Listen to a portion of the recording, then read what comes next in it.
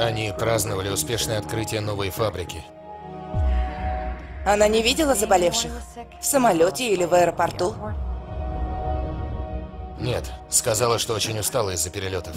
Для передачи достаточно прикосновения. Обычный человек непроизвольно прикасается к лицу от трех до пяти раз в минуту, а в промежутках мы касаемся дверных ручек, питьевых кранов и друг друга. Бет, Мам! будь молодцом, посиди наверху в комнате. Итак, у нас на руках вирус, который неизвестно как лечить, и от него нет вакцины? Для заражения достаточно мгновения. У Бет только что был припадок. Раньше такое бывало? У нее бывали припадки? Нет, никогда. По состоянию на вчерашний вечер у нас 32 зараженных.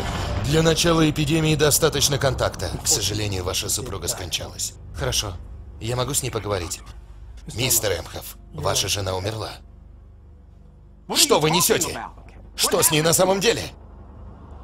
Что с ней? Если бы кто-то смог превратить птичий грипп в оружие, все развивалось бы именно так. Превращать птичий грипп в оружие не требуется. Этим уже занимаются сами птицы. Warner Brothers представляет. Смотри внимательно, это передача. Осталось определить направление. В первый день двое зараженных. Затем четверо. Потом 16. Через три месяца миллиард. Вот что нас ждет.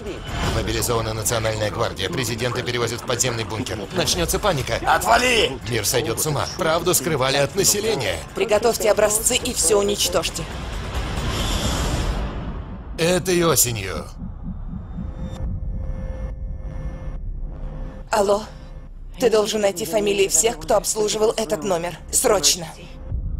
Только без паники. Знаю. Я вытащу тебя оттуда. На мне тоже люди, доктор Чивер. Как и у всех остальных.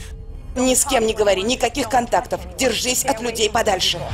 Марион Котияр, Мэтт Деймон, Лоуренс Фишберн, Джуд Лоу, Гвинет Пелтроу и Кейт Уинслет. Отойти от машины! Мы не заражены! К страху иммунитета нет.